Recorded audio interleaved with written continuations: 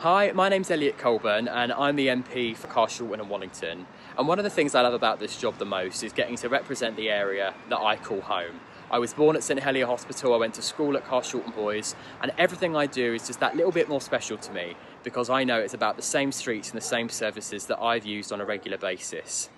And that's why I'm so excited to announce I am launching my own apprenticeship programme.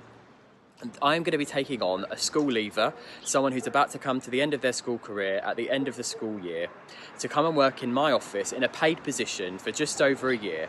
And they will be provided with on the job training, but also acquire a qualification that is being provided by Carshalton College.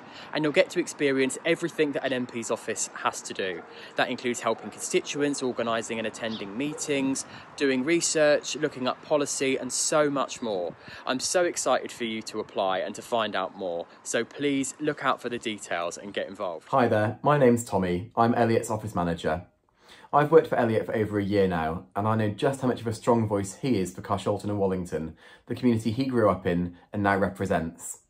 Before joining Elliot's office, I'd worked in Parliament since 2014, including for three cabinet ministers, and I know just how much fun and how much experience you can get by working for an MP. It is an opportunity I would absolutely recommend you put yourself forward for. The apprenticeship programme will run for 15 months from July this year through to September next year. Applications open mid-March and will close at the end of April. You'll have to send in a CV, a cover letter and do a short written exercise and we'll get back to you as soon as possible. It is an amazing opportunity and I really hope that you'll consider putting yourself forward for it. Look forward to hearing from you. Hi there, my name's Jonathan, and when I was doing my A levels, I uh, wasn't too sure what I wanted to do, and I wasn't too sure if I wanted to go to university. And after I saw that my local MP was offering a apprenticeship, I thought it would be a fantastic chance to go and earn some cash and also learn some uh, skills. And while I was there, it was the most fantastic year, and I managed to learn so many new things, and it really started a passion in pol politics. And after I had uh, done that and I'd uh, saved some cash, I uh, then decided to go to, un to university.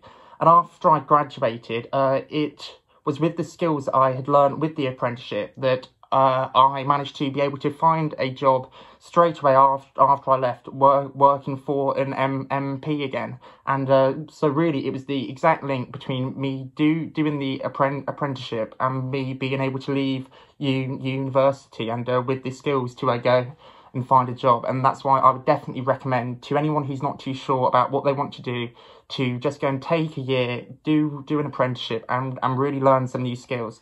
Hi, my name's Catherine Gray and I'm Elliot's Senior Parliamentary Assistant, responsible for overseeing the casework for his office.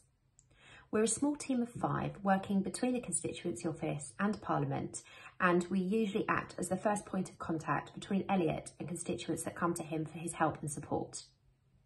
Our apprentice will split their time between the constituency office and Parliament as well as having some time to study and will be able to gain experience in casework and parliamentary activity.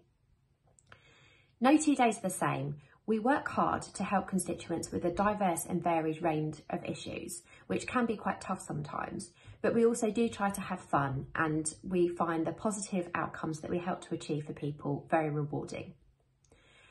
To join Elliot's team as an apprentice, you don't have to be a conservative, but a can-do and positive attitude alongside with a willingness to learn is an absolute must. We look forward to welcoming you. So I really want to encourage you to apply for this apprenticeship. Applications will open on the 15th of March and will close at the end of April. We'll be appointing our apprentice at the beginning of May and you'll get started with us in July. Now, whatever you want to go and do after this apprenticeship is over, if you want to go into university or go straight into the world of work, there are so many things that you'll be able to pick up throughout the course of your apprenticeship with us that I hope you'll be able to go on and use in whatever you want to do. It's going to be so much fun, there's going to be so much to do and so much to learn, and I really, really hope to hear from you and get your application. So get involved, and I look forward to seeing you.